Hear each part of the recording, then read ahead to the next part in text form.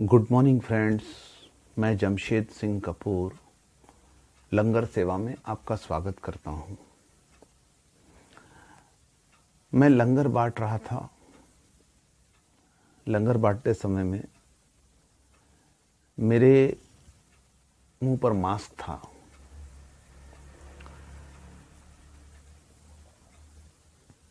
उस दिन मेरे बेटे की डेथ हो चुकी थी। मेरा बेटा, छोटा बेटा, जिसका नाम रोहन सिंह कपूर था, जो एलएलबी का फाइनल ईयर का स्टूडेंट था और एक केक की दुकान भी चलाता था। उस मेरे बेटे ने अपनी प्रेमिका ने धोखा देने के कारण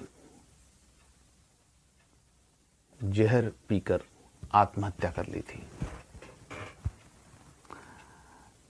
मेरे बेटे की मृत्यु हो चुकी थी और डेड बॉडी मिलने वाली थी। पर मैं, चूँकि डेड बॉडी मिलने में टाइम था तो उस समय अपनी लंगर सेवा में कर रहा था। और वो लंगर सेवा के बाद में मैं डेड बॉडी लेके उसका फिनरल करने वाला था। मुँह पर मास्क बंधा हुआ था। ऐसे दुखी माहौल में मैं रो भी रहा था और लंगर बांट भी रहा था। तो जो मेरे रूटीन में लंगर खाने वाले लोग हैं, उन्होंने मुझसे पूछा कि आपकी आँखों से आँसू क्यों गिर रहे हैं? आप रो क्यों रहे हैं?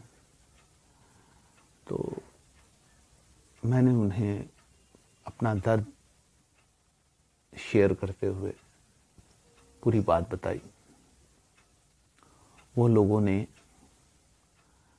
खाना रोककर मुझसे कहा कि आपने ऐसे गमगीन परिस्थिति में भी आज लंगर नहीं बांटना था।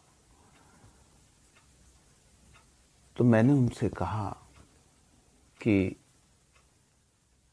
जिस दिन मेरे बेटे ने आत्महत्या की थी,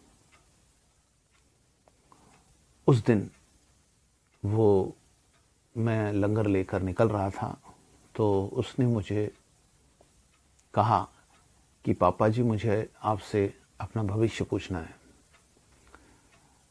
और साथ में उसने ये भी कहा कि मैं आपको आपकी फ़ीस दूँगा, क्योंकि दो बजे लंगर बनाकर मैं ढाई पौने तीन बजे निकलने लगता हूँ।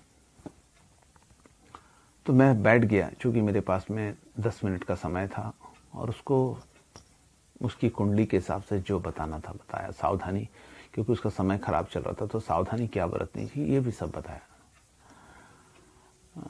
तो बाद में फिर मैंने उसको एक लाइन जोड़ के बोला कि अगर पैसे की कोई भी ज़रूरत हो तो मुझे फ़ोन कर लेना, मैं तुमको पैसे तो दे दूँगा।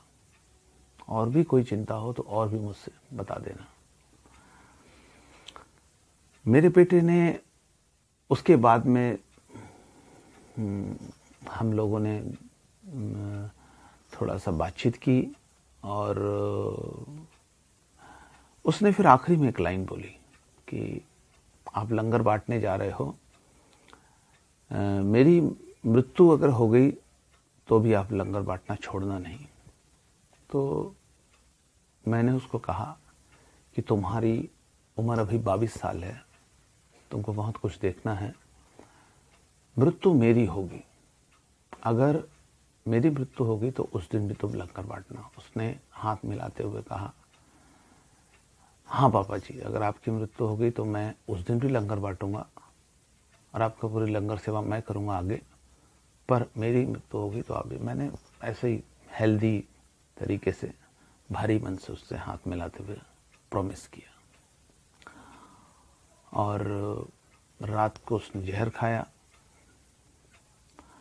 तो दूसरे दिन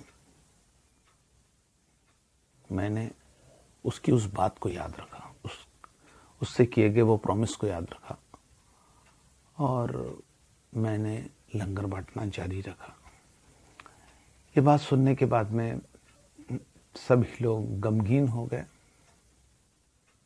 और वो लोग जो रास्ते पर कचरा बिनते हैं, जिनके बच्चों ने उनको छोड़ के चले गए हैं, या बाकी सब। वो लोग जिनके पीठ पर मैं हाथ रखता था और कहता था, चिंता की कोई बात नहीं, सब ठीक होगा। उन सभी ने मेरे पीठ पर हाथ रखा और मुझे कहा कि गुरु जी चिंता की कोई बात नहीं है। सब ठीक होगा। और मैंने भारी मन से उनसे विदा ली। धन्यवाद।